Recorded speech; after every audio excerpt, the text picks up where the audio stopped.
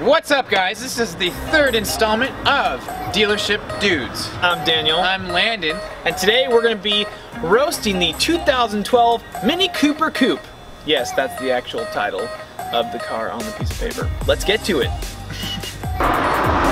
so, here is the Coupe, as Top Gear would put it. Now, what I see this car as, as a Coupe. Now, it looks it looks like a four-seater, but it's actually a two-seater. And so I think they kind of just like eh, and made it look like a four-seater when it's actually a two-seater.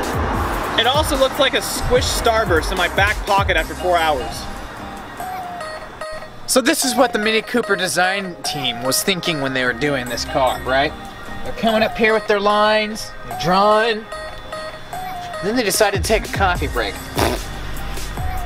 The year 2012 was an interesting one for the Mini Cooper Coupe.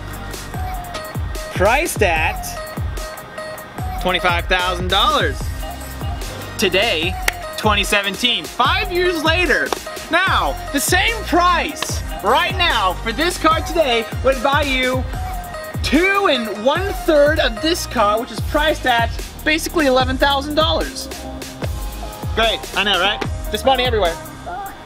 Well guys, that finishes up the roasting of the 2012 Mini Cooper Coupe. Guys, it just looks like a bathtub. It really does. Yeah. Just drive around the bathtub all day. Yeah, stupid. Stay tuned for episode four. Bye.